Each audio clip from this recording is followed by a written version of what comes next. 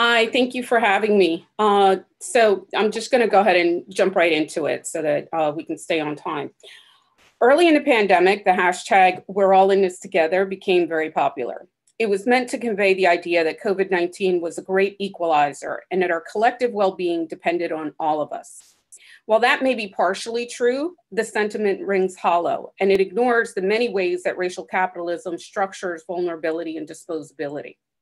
Black, brown, poor, disabled, elderly, trans, undocumented, survivors, and imprisoned human beings did not need a global pandemic to remind us of our precariousness. Nor did we need the moralizing of know nothing celebrities who urged us from the comfort of their lavish homes to stay inside so that everyone could be safe.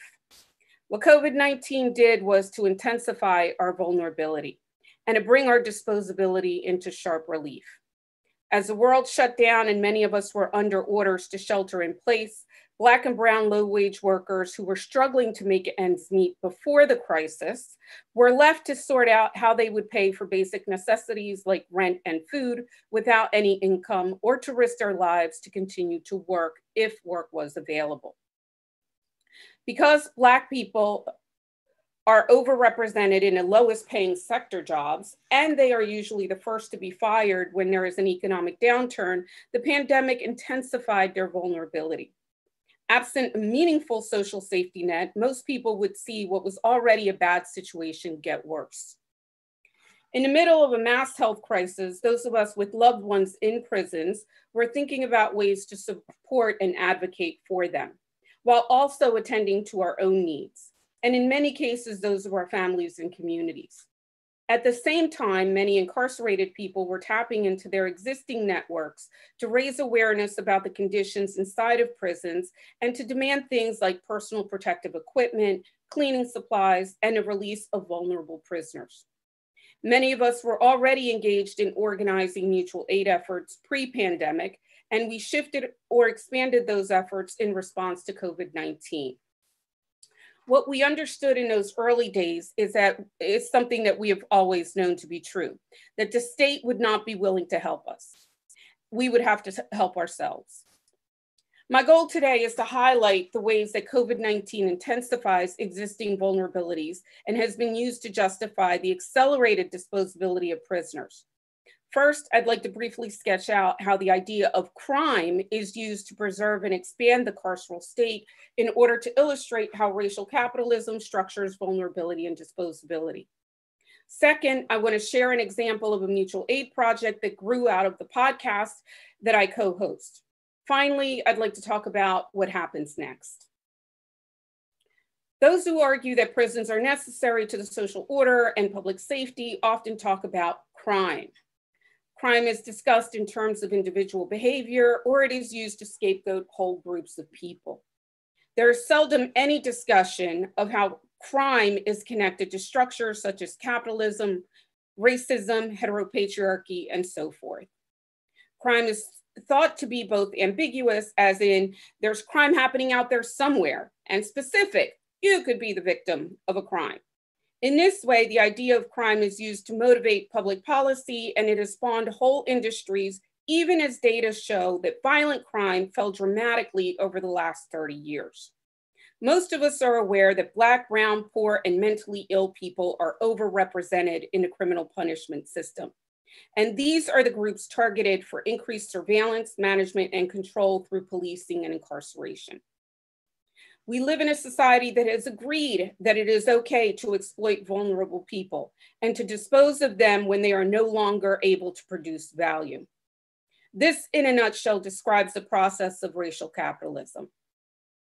Policing and prisons are the mechanisms and log uh, logics used to preserve this arrangement. This is important to understand if you want to make sense of a country that has more than 2.3 million people in prison, including 200,000 people who are serving life sentences. And 50,000 of those are serving life sentences without the possibility of parole, including both of my sons.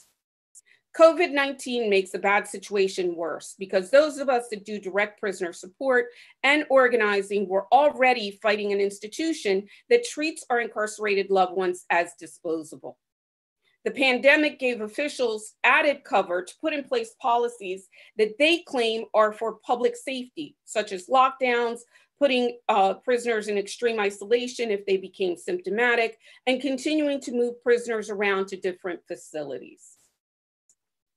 A few days ago, there were more than 29,000 confirmed cases of COVID 19 in state prisons, and just over 1,700 cases in federal prisons. The death toll continues to rise. And so far, there have been 414 confirmed deaths in state prisons and 64 in federal prisons. In spite of this, officials have been reluctant to release prisoners, citing concerns over public safety and claiming that they have infectious disease protocols in place and are able to manage this crisis without having to release anyone. I'd like to shift focus now to uh, share an example of the mutual aid project that I was a part of developing in support of prisoners. Part of the work that I do for my sons and on behalf of other uh, incarcerated people is wide ranging, and it includes everything from advocating for them to get medical treatment, to organizing phone zaps, to working to get people out of prison over the years, these strategies have become, become an important resource that I found myself sharing uh, with, with them and with other people that have loved ones inside. So I started to write these things down. That document evolved uh, into something that was intended for primarily personal use to something that I shared uh, on a Beyond Prisons Facebook page and uh, that immediately sparked a wave of support from many of our listeners uh, who wrote to us to volunteer to help us develop um, that, that resource. What we came up with was uh, a short guide, um, and I have a copy of it here, um, for supporting prisoners during the COVID-19 crisis. And it includes information on what to do if your person inside gets sick, um, how to add money on commissary accounts so that uh, people inside can buy food, uh, make phone calls and maintain lines of communication with their loved ones outside, um, and how to file grievances and track price gouging well, by prison companies, among other things. The guide has been translated into Spanish. Uh, we're working on getting it translated into several other languages as well. It's available in several formats and it's been printed and distributed uh, inside and shared among organizers outside. Volunteers also helped us to compile a long list of mutual uh, aid projects that are happening around the country, and those are listed on our website. In addition, we collectively came up with a list of 22 demands that call for, uh, among other things, the immediate release of all prisoners. Because prison officials are notorious for withholding crucial information about the conditions inside, we demanded and demand um, that prisons make their plans public. And we asked that medical units uh, remain fully staffed, including on weekends. We also called for stronger labor and safety protections for prisoners and demanded hazard pay for prisoners working in particularly dangerous circumstances. Well, our main goal is to get as many people out as we can. We also recognize that not everyone is going to be released. So we crafted many of our demands to protect those that would remain inside. Some of these things include making sure that pr prisoners would have free access to bleach and personal protective equipment, free commissary, um, eliminate sick call fees, um, and that prisons cease the use of pepper spray and other chemical agents that cause breathing complications. Our demands were written as broadly as possible, and we encouraged organizers to create their own targeted lists of demands so that they would reflect the needs of prisoners in their region or state. In the weeks following the publication of the guide, we received many calls and emails from people inside and from loved ones looking for help. When we could provide help directly, we did. We referred those that couldn't, uh, that we couldn't help to other resources, including to organizations with the capacity to meet their needs. The point of sharing this example is to underscore the importance of grassroots organizing, um, being able to quickly respond to the needs of incarcerated people. Finally, I'd like to share some thoughts on where I think we go from here. And I want to remind people that the crisis is not over, even as the United States has moved to reopen. Prisons are also reopening. which means that prisoners are returning to their prison jobs and in-person visits are resuming. Both of these activities bring prisoners into contact with more people who may be infected and increases their risk of contracting COVID-19. While we were able to secure the release of some prisoners, many states were reluctant to do mass releases, again, citing security concerns. We were also able to force prison phone providers to give free phone calls. But prison phone companies only offered one five minute free call once a week and in most cases stopped offering those several weeks ago. Efforts to secure compassionate release were successful in just a few cases. And even when governors agreed to use their executive powers to release prisoners, most did not follow through. It is important to take stock of these losses as well as the wins uh, because it lets us know, you know, what strategies worked and what we need to improve for the next go around. What COVID-19 has revealed is that Black, Brown, and poor people will bear the brunt of punitive policies and that the state is willing to sacrifice incarcerated people's lives under the guise of concern for public safety. We do not need death camps in our communities to ensure people's safety. The logic of disposability tells us that by stripping prisoners of their humanity, it becomes easier to justify their neglect and mass death because most people will simply not care. In the middle of a global pandemic, the situation is intensified. It has been an emotionally exhausting week uh, for Black people in the United States.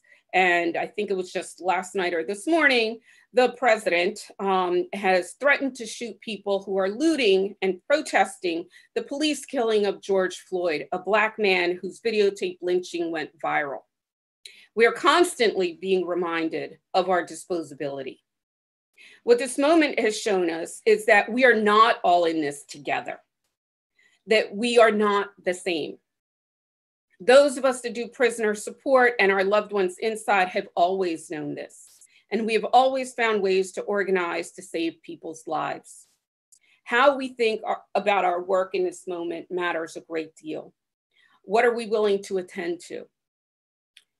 How are we showing up for incarcerated people and those impacted by the carceral state? How can we shift our resources to things that are life affirming? How do we connect our struggles so that we aren't just focusing on our day to day survival, but building a world that meets the needs of all of us? These are just some of the questions that I think that we need to take seriously. And I'm going to stop there because I could go on, um, but I want to you know, make sure we have plenty of time for Q&A later. Thank you.